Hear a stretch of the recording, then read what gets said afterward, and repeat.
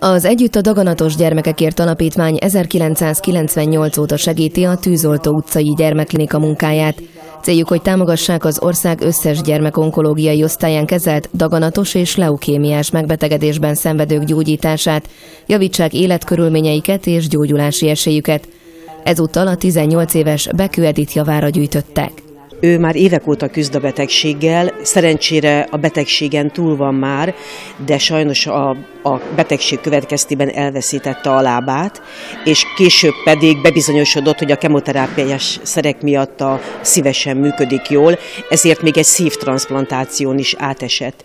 Amiért segítünk neki az az, hogy, hogy az életminősége olyan legyen, mint a hasonló ö, saját korosztályában lévő gyerekeknek, hiszen egy, egy STK protézis protézissel, egy borzasztó nehéz, kimerevített protézissel nem tud rendesen járni. Ő most fog érettségizni, szeretne tovább tanulni, a szüleitől távol kerül, tehát jó lenne, ha ő mindent maga meg tudna oldani, be tudna illeszkedni a csoportba, és a, az önértékelése is így, így megerősödne.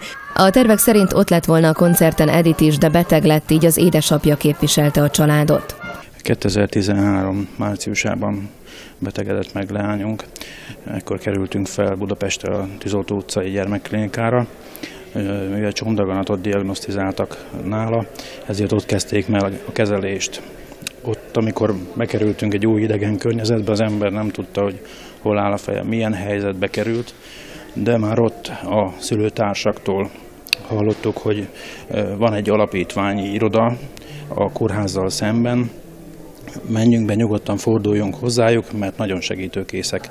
Ezen az estén a gyűjtést kezdeményező Szürke Verebek jazz bandája mellett fellépett a Pair of Jazz gitárének duo, akik már számtalan hasonló jótékonysági koncerten segítettek a rászorulókon. Minden évben több jótékonysági rendezvényen részt veszünk, nagyon fontosnak tartjuk, hogy, hogy segítsünk, ahol tudunk. Mi ugye zenével tudunk ehhez hozzájárulni, és azzal, hogy szórakoztatunk, úgyhogy igen, ez nagyon fontos számunkra.